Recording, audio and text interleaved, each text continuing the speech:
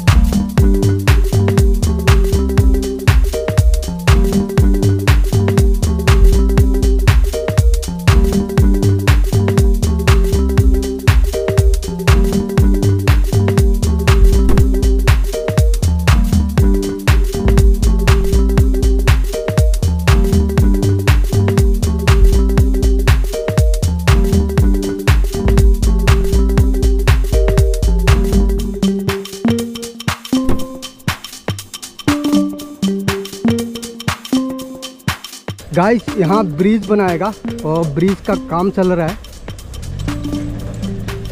लोगों के लिए काफ़ी अच्छा होगा। यहाँ पर पहले भी ब्रिज था, लेकिन टूट चुका है।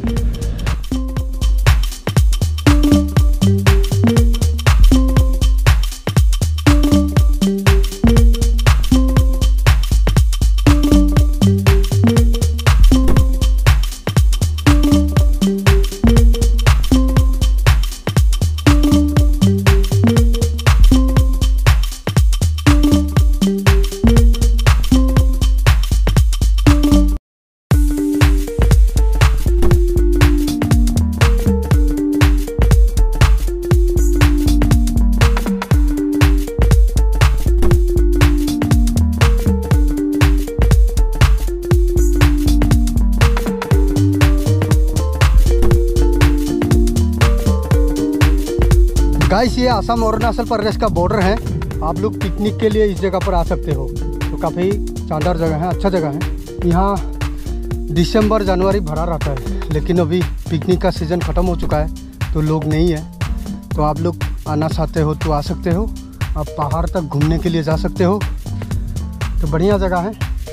बहुत आगे तक जगह है पिकनिक के लिए। आप कहीं भी जाके पार्टी कर सकते हो, उसके अंडर भी जा सकते हो। तो जगह इतना ख़राब नहीं अच्छा है। ये है लोकेशन सैसा